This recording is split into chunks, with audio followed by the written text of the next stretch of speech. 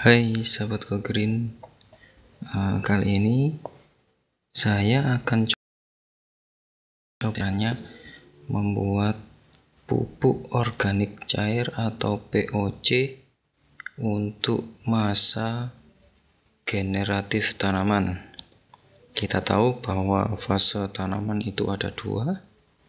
Yang pertama, fase vegetatif dan generatif fase generatif itu fungsinya untuk tanaman pada masa pembungaan atau pembuahan. Untuk fase vegetatif adalah masa pertumbuhan, di mana masa tanaman pada awal penanaman sampai sebelum pembungaan atau pembuahan. Nah, untuk cara membuat POC itu sendiri, untuk masa generatif adalah POC dari bahan buah-buahan seperti ini. Ini ada pisang. Uh, pisang ini kandungan kaliumnya sangat bagus untuk masa generatif untuk merangsang pertumbuhan pertumbuhan atau munculnya bunga, memunculkan bunga. Uh, selain itu, saya juga apa tomat yang sudah agak busuk usahakan buah-buah yang busuk. Karena ini nanti bakterinya juga berfungsi untuk mengurai buah-buahan ini. Selain itu kita siapkan juga uh, air leri atau air cucian beras. Ini juga uh, kandungannya sangat bagus untuk tanaman Selanjutnya, untuk bakteri pengurainya, kita menggunakan mol. Mol dari nasi bisa atau mol dari tape juga bisa. Ini untuk bakteri pengurai untuk mempercepat penguraian. Oke, uh, caranya adalah kita tinggal potong kecil-kecil buah-buahan yang sudah busuk kemudian kita masukkan ke dalam uh, wadah. Untuk skala besar uh, buah-buahan busuk ini bisa dimasukkan ke dalam karung dan dicelupkan ke dalam wadah. Jadi nanti uh, tidak perlu disaring. Bisa airnya bisa langsung diaplikasikan. Ini karena saya pakai skala kecil dari saya cuman saya potong-potong dan saya masukkan. Untuk buahnya semakin banyak variasinya semakin bagus karena unsurnya akan semakin lengkap. Oke seperti ini. Ah, oke.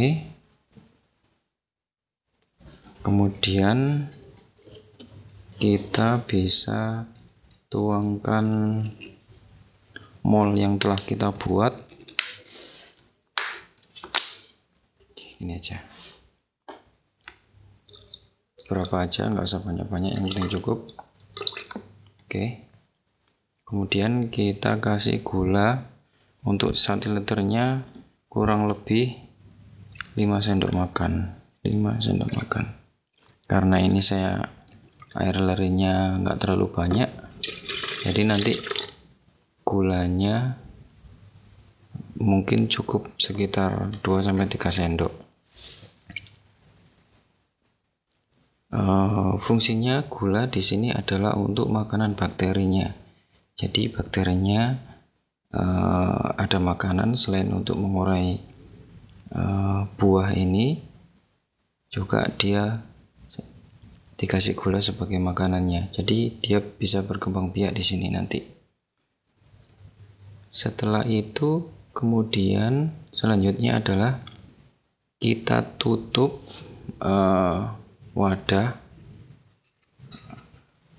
uh, pembuatan POC ini kita tutup rapat uh, dan kita biarkan selama dua minggu minimal dua minggu uh, atau satu bulan sudah cukup nanti bisa diaplikasikan sudah jadi. Jadi kita tutup kemudian setiap tiga hari kita buka.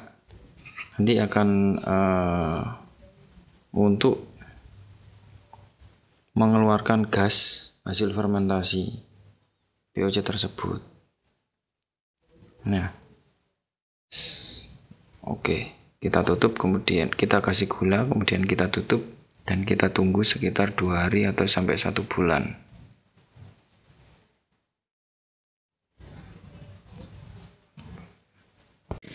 Nah setelah uh, kita tutup rapat dan kita buka setiap tiga hari uh, ini sudah berjalan selama satu bulan. Uh, bagi yang kadang lupa tidak buka tutup ini berbahaya soalnya ini akan gasnya akan numpuk dan ketika dibuka dua minggu kelupaan dan buka ini akan meledak soalnya gasnya akan ter, tersimpan di dalamnya. Untuk yang kelupaan itu bisa bisa dengan menusuk beberapa tutup ini dengan jarum. Fungsinya untuk mengeluarkan gas tanpa membuka tutupnya. Ini setelah satu bulan kita akan coba buka. Setelah buka tutup ini ya, kita akan coba buka. Nah, uh, hasilnya akan seperti ini. Nah, akan ada seperti kayak busa-busanya ini saya tambah uh, ada rempah-rempah ini uh, jahe temulawak ini juga bagus untuk pestisida insektisida. Selain itu ada kulit semangka juga. Uh, ada kulit telur juga. Itu juga bagus untuk fase generatif. Nah kayak gini.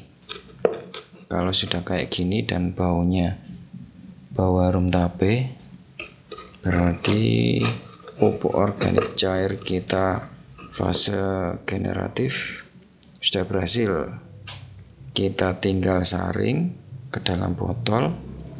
Kemudian kita aplikasikan ke tanaman. Caranya adalah uh, ada dua cara. Bisa dengan kita kocor langsung ke media tanam.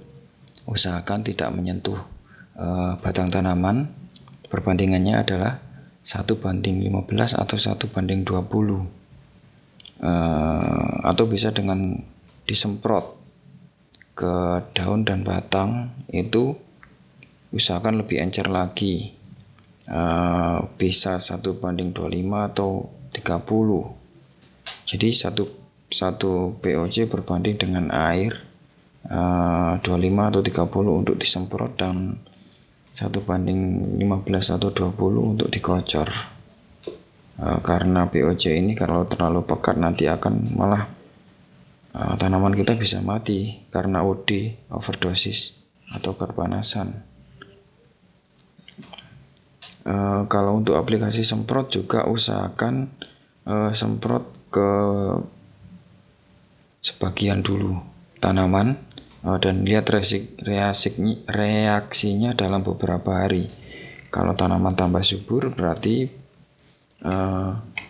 komposisi POC kita, uh, pengenceran POC kita sudah tepat karena uh, kepekatan POC yang kita buat ini tergantung jumlah awal air sama bahan buah yang kita buat.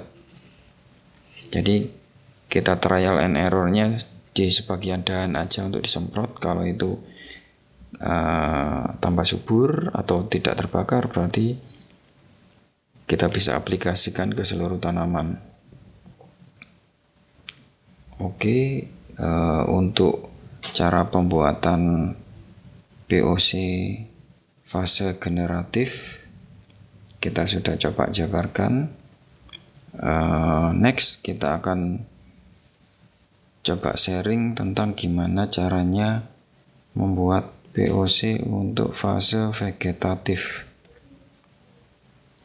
Oke teman-teman, bagi yang menyukai video saya bisa uh, klik gambar di kanan bawah ini dan pilih langganan atau subscribe untuk uh, mengikuti video saya selanjutnya. Salam go green and organic.